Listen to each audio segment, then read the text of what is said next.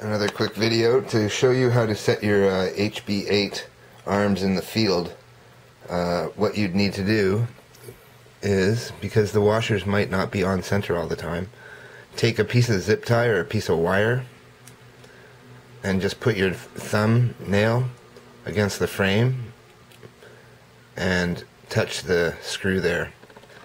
As you can see, you're adjusting screw.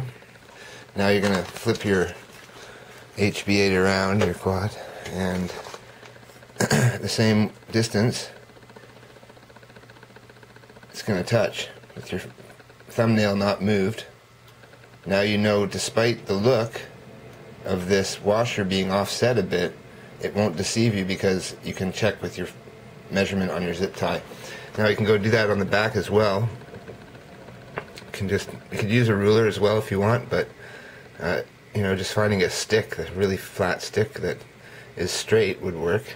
Putting my thumbnail against the frame just until I touch the nut there, the moving nut. and flip it around. Makes it easier.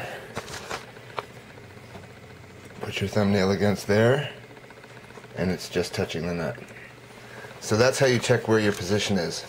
So don't go by the washers so much as the actual distance from the side, which is equal on each plate. It's a mirror image, so you'll be able to check with a certainty that your distance of this bolt from the side edge here, with calipers you could do it, and this edge should be exact. Then you could set your arms at any distance just by measuring the distance from the side to the bolt. And there you go. That's your tip on how you uh, set your arms up whichever way you want. And right now I have it almost in an H quad at the front, and it flies really nicely. And uh, we'll do some more experimenting.